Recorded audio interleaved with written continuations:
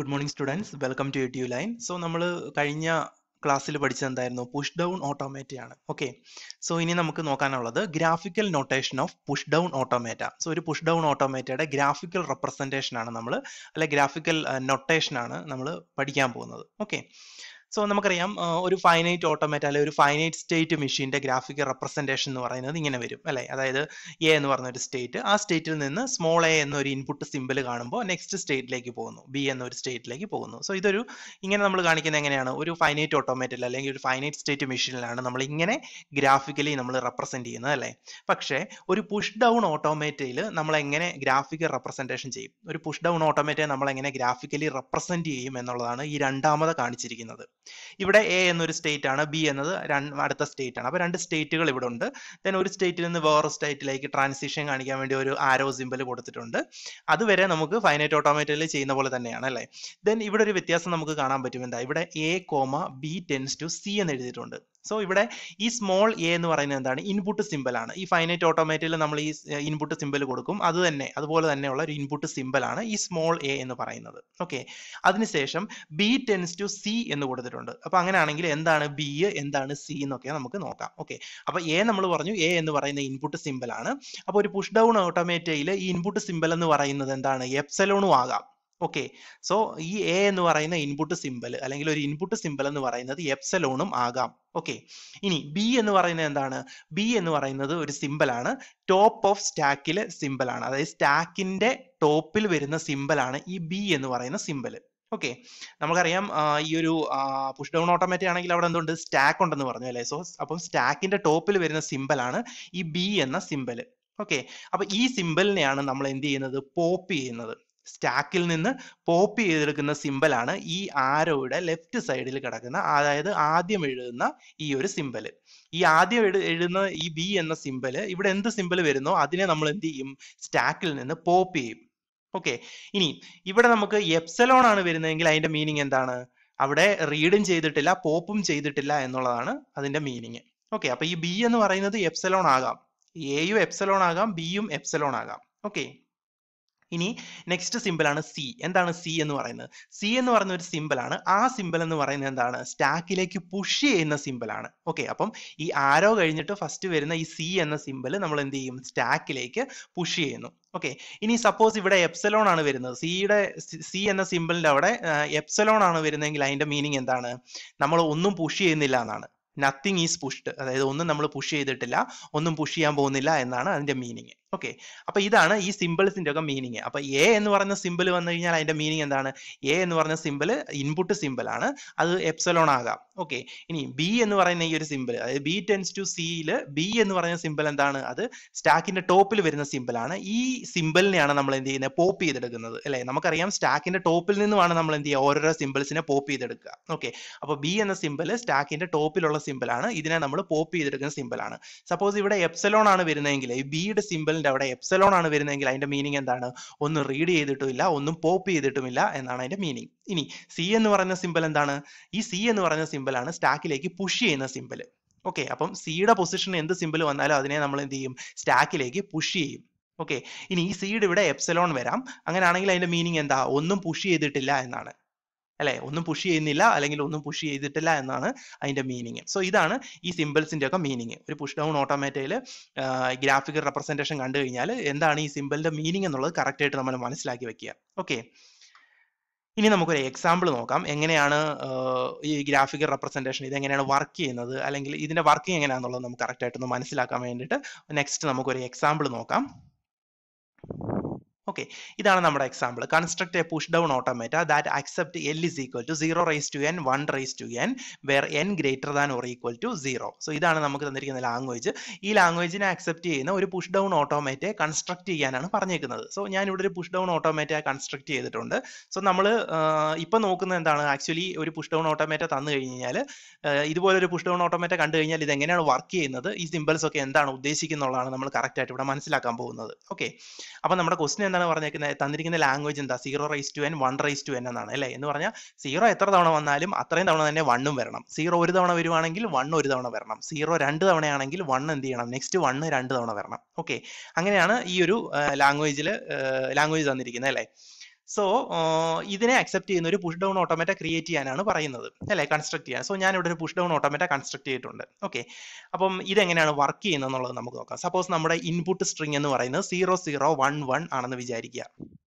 Okay കാരണം ഈ language വെച്ചിട്ടാണ് നമ്മൾ ഈ ഒരു ഈ ഒരു ഇൻപുട്ട് സ്ട്രിങ്ങിനെ എഴുതിയിരിക്കുന്നത്. അതായത് സീറോ രണ്ട് തവണ വരുമ്പോൾ വണ്ണ് നെക്സ്റ്റ് രണ്ട് തവണ വരും അല്ലെ? അങ്ങനെയാണ് പറഞ്ഞേക്കുന്നത്. Zero rise to N one rise to N എന്നാണ്. സീറോ ഇപ്പം N greater or equal to zero അപ്പം സീറോ എന്താണ്? ഈ സീറോ രണ്ട് തവണ വന്നാൽ വണ്ണ് രണ്ട് തവണ വരണം. സീറോ മൂന്ന് തവണയാണ് വരുന്നതെങ്കിൽ നെക്സ്റ്റ് വൺ എന്ത് വരണം? മൂന്ന് തവണ വരണം. അതാണ് ഈ പറഞ്ഞിരിക്കുന്നത്. സോ നമ്മൾ ഒരു ചെറിയൊരു എക്സാമ്പിൾ എടുത്താണ്. Zero zero one one so ഇതാണ് നമ്മുടെ സ്ട്രിങ് കൺസിഡർ ചെയ്യുക. ഇനി ഈ തന്നിരിക്കുന്നത് ഇത് നമ്മൾ ക്രിയേറ്റ് ചെയ്ത ഒരു പുഷ് ഡൗൺ ഓട്ടോമേറ്റ ആണ്. സോ ഈ ഒരു ഓട്ടോമേറ്റ ഈ ഒരു സ്ട്രിങ്ങിനെ അക്സെപ്റ്റ് ചെയ്യുന്നുണ്ടോ? എന്നുള്ളതാണ് നമ്മൾ നോക്കാൻ പോകുന്നത്. പുഷ് ഡൗൺ ഓട്ടോമേറ്റ ഈ ഒരു സ്ട്രിങ്ങിനെ അക്സെപ്റ്റ് ചെയ്യുന്നുണ്ടോ? ഇല്ലയോ എന്നുള്ളതാണ് നമ്മൾ നെക്സ്റ്റ് നോക്കാൻ പോകുന്നത്. ഓക്കെ അപ്പം നമുക്കറിയാം പുഷ് ഡൗൺ ഓട്ടോമേറ്റ ആണെങ്കിൽ അവിടെ എന്തുണ്ട്? സ്റ്റാക്ക് ഉണ്ട്. അല്ലേ? ആ സ്റ്റാക്ക് ആണ് ഈ സൈഡിൽ കാണിച്ചിരിക്കുന്നത്. ഓക്കെ ഇതാണ് നമ്മുടെ സ്റ്റാക്ക് കാണിച്ചിരിക്കുന്നത്. ഇനി നമ്മുടെ ഈ ഒരു ഫിഗറിലേക്ക് വരിക. ഈ ഒരു ഗ്രാഫിക്കൽ റെപ്രസെന്റേഷൻ ഈ ഒരു പുഷ് ഡൗൺ ഓട്ടോമേറ്റിലേക്ക് വരിക. ഇവിടെ ഫസ്റ്റ് ക്യൂ വൺ എന്ന് പറയുന്നത് എന്താണ്? അതൊരു ഇനിഷ്യൽ സ്റ്റേറ്റ് ആണ്. അല്ലേ? ഇനിഷ്യൽ സ്റ്റേറ്റ് അല്ലെ? സ്റ്റാർട്ടിംഗ് സ്റ്റേറ്റ് നമ്മൾ ഓട്ടോമേറ്റയിലും ഡിറ്റർമിനിസ്റ്റിക്കും നോൺ ഡിറ്റർമിനിസ്റ്റിക് ഓട്ടോമാറ്റിക്കും എല്ലാം നമ്മൾ ഇങ്ങനെ തന്നെയാണ് വരയ്ക്കുന്നത്. സ്റ്റാർട്ടിംഗ് സ്റ്റേറ്റ് അല്ലേ? എങ്ങു നിന്നും വരാത്ത ഇൻഡിപെൻഡന്റ് ആയിട്ട് നിൽക്കുന്ന ഒരു ആരോ ആണ് ഈ സ്റ്റാർട്ടിംഗ് സ്റ്റേറ്റിനെ കാണിക്കുന്നത്. സോ ക്യൂ വൺ എന്നുള്ളത് സ്റ്റാർട്ടിംഗ് സ്റ്റേറ്റ് ആണ് അല്ലെങ്കിൽ ഇനിഷ്യൽ സ്റ്റേറ്റ് ആണ്. അല്ലേ? ഇനി ഇവിടെ നിന്ന് ഫസ്റ്റ് ഇവിടെ എന്താ കാണിച്ചിരിക്കുന്നത്? Epsilon comma epsilon gives Z zero അല്ലെ? Epsilon tends to Z zero എന്ന് അല്ലെ? അപ്പോ ഇവിടെ ഇവിടെ എന്താണ് ഈ മീൻ ചെയ്തിരിക്കുന്നത്? നമ്മൾ കണ്ടു നമ്മൾ നേരത്തെ ആ ഗ്രാഫിക്കൽ റെപ്രസെന്റേഷൻ കണ്ടത് എന്താ? A comma B tends to C എന്ന് കണ്ടു അല്ലെ? അപ്പൊ അവിടെ എ എന്ന് പറയുന്നത് എന്താണ്? ഇൻപുട്ട് സിമ്പിൾ ആണ്. അങ്ങനെയാണെങ്കിൽ എയുടെ പൊസിഷൻ ഇവിടെ വന്നേക്കുന്ന എപ്സലോൺ ആണ്. അതിന്റെ മീനിങ് എന്താ? എപ്സലോൺ ആണ് ഇൻപുട്ട് ഇൻപുട്ട് ഇൻപുട്ട് സിമ്പിൾ എന്നുള്ളത്. എന്ന് പറഞ്ഞാൽ ഇൻപുട്ട് സിമ്പിൾ ഒന്നും ഇല്ല എന്നുള്ളതാണ് അതിന്റെ മീനിങ് അല്ലെ ഇൻപുട്ട് സിമ്പിൾ പ്രത്യേകിച്ച് ഇൻപുട്ട് സിമ്പിൾ ഒന്നും ഇല്ല എന്നാണ് അതിന്റെ മീനിങ് ദെൻ നെക്സ്റ്റ് എന്താ കൊടുത്തേക്കുന്ന? Epsilon tends to Z zero അപ്പം ഈ ആദ്യം വന്നിരിക്കുന്ന ഈ ആരോടെ ആദ്യം വന്നിരിക്കുന്ന എപ്സലോൺ എന്താണ്? അത് പോപ്പ് ചെയ്യണമെന്നാണ് ഉദ്ദേശിക്കുന്നത്. അല്ലെ?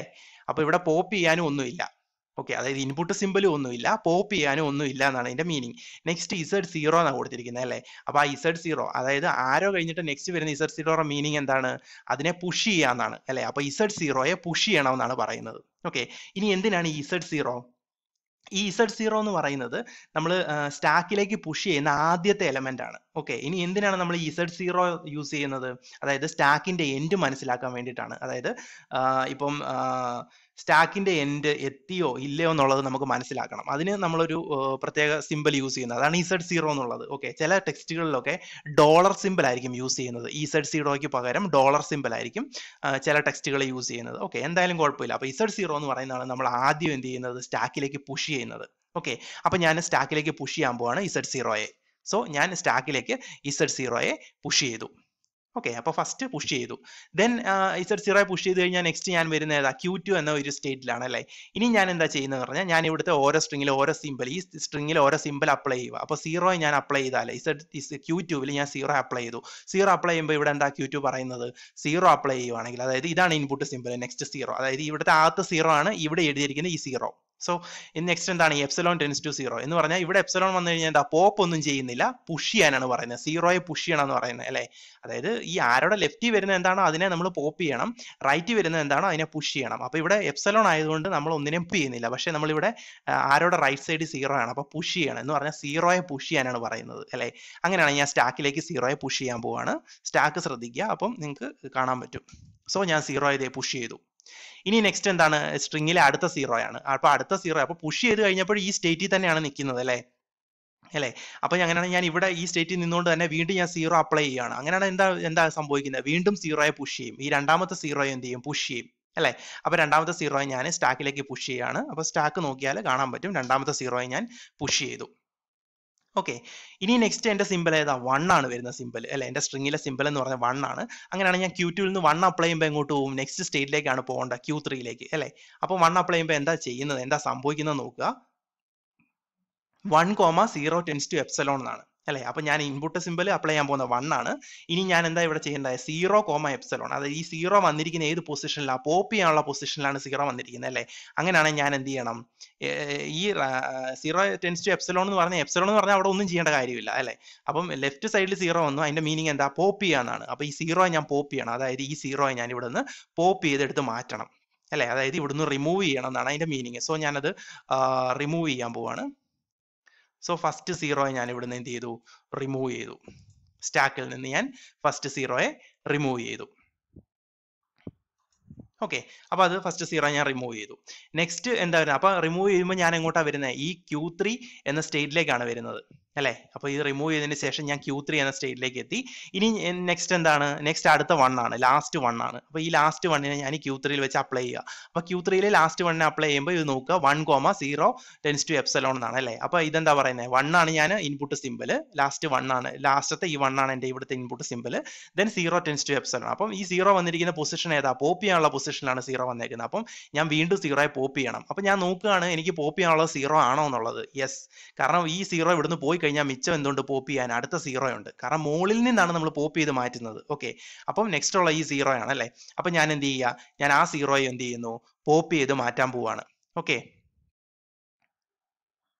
സോ ഞാൻ ആ സീറോയെ ഇവിടെ നിന്ന് പോപ്പ് ചെയ്യാണ്. മീൻസ് ഞാൻ ഇവിടെ ഈ ഒരു സ്ട്രൈക്ക് ഇടുന്നത് പോപ്പ് ചെയ്തു എന്നുള്ള ആ ഒരു രീതിയിലാണ് കേട്ടോ. ഓക്കെ അപ്പം അത് അത് കാണിക്കാൻ വേണ്ടിയിട്ടാണ്. എന്ന് വെച്ചാൽ ഇത് മാറി എന്നുള്ള രീതിക്കാണ് ഞാൻ ഇവിടെ സ്ട്രൈക്ക് ചെയ്ത് വിടുന്നത്. സത്യത്തിൽ ഇത് ഇവിടെ നിന്ന് എടുത്ത് മാറ്റുകയാണ് ചെയ്യുന്നത്. അപ്പോൾ ഇതൊക്കെ ഫ്രീ ആകുകയാണ് ചെയ്യുന്നത് ഈ സെല്ലൊക്കെ ഓക്കെ അപ്പൊ ഞാൻ അതിനെ എന്ത് ചെയ്തു? പോപ്പ് ചെയ്തു.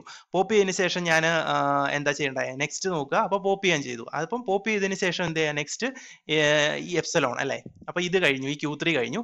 ദെൻ നോക്കുമ്പോൾ എന്താണ്? സ്ട്രിങ് നോക്കുമ്പോൾ വേറെ ഒന്നുമില്ല ഇൻപുട്ട് ഒന്നുമില്ല കാരണം നമ്മുടെ എല്ലാം കഴിഞ്ഞു. നമ്മുടെ സ്ട്രിങ്ങിലെ എല്ലാ സിമ്പിളും കഴിഞ്ഞു. നെക്സ്റ്റ് എന്താ വരുന്നത് എപ്സലോൺ.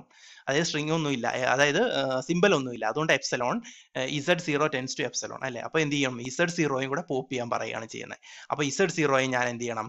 ഇവിടെ നിന്ന് പോപ്പ് ചെയ്യുകയാണ്. അപ്പോൾ ഇസഡ് സീറോയെ ഞാൻ ഇവിടെ നിന്ന് പോപ്പ് ചെയ്തു. സോ ഇസഡ് സീറോയെ ഞാൻ ഇവിടെ നിന്ന് പോപ്പ് ചെയ്ത് മാറ്റി. ഓക്കെ. അപ്പോൾ ഇപ്പൊ നോക്കി കഴിഞ്ഞ് കഴിഞ്ഞാൽ എന്താ? എന്റെ സ്റ്റാക്ക് എന്ന് പറയുന്നത് എന്താ? എം ടി ആയി. ഇപ്പൊ സ്റ്റാക്കിൽ ഒന്നുമില്ല. അപ്പൊ എന്തായി? സെറ്റ് സീറോയെ പോപ്പ് ചെയ്ത് കഴിഞ്ഞപ്പോൾ ഞാൻ എവിടെ എത്തി ഫൈനൽ സ്റ്റേറ്റിലെത്തി ക്യൂ ഫോറിലെത്തി ഓക്കെ അപ്പോൾ ഞാൻ ഇവിടെ ഫൈനൽ സ്റ്റേറ്റിലാണ് എത്തിയിരിക്കുന്നത്. അപ്പോൾ എന്താണ്? എന്റെ സ്റ്റാക്കിൽ ഒന്നുമില്ല.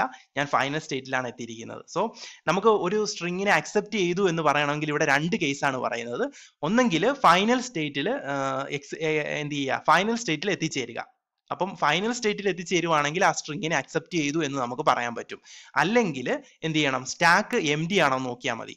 അപ്പൊ ഇവിടെ ഇവിടെ നോക്കിയാൽ ഇവിടെ രണ്ട് കേസും കറക്റ്റ് ആണ്. ഇവിടെ ഫൈനൽ സ്റ്റേറ്റിൽ എത്തുകയും ചെയ്തു സ്റ്റാക്ക് എം ഡി ആകുകയും ചെയ്തു. സോ ഈ ഒരു എക്സാമ്പിളിൽ രണ്ട് രണ്ടും എന്താണ്? ഈ രണ്ട് കണ്ടീഷനും ട്രൂ ആണ്. അപ്പോൾ കണ്ടീഷൻ എന്ന് പറഞ്ഞ ഇത്രയേ ഉള്ളൂ. അക്സെപ്റ്റ് ചെയ്തു എന്നുള്ള കണ്ടീഷൻ എന്ന് പറഞ്ഞതാണ്. ഫൈനൽ സ്റ്റേറ്റിൽ എത്തണം. അപ്പൊ നമ്മൾ ഇവിടെ ഫൈനൽ സ്റ്റേറ്റിൽ എത്തി.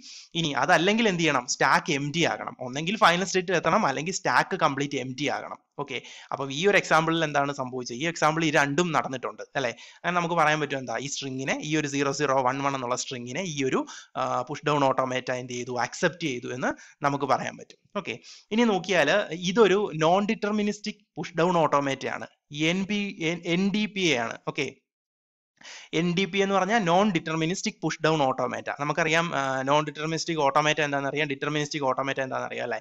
അപ്പം അത് തന്നെയാണ് ഇവിടെയും കൺസെപ്റ്റ് വരുന്നത്. Non deterministic push down automata എന്ന് പറയാൻ കാരണം എന്താണ്?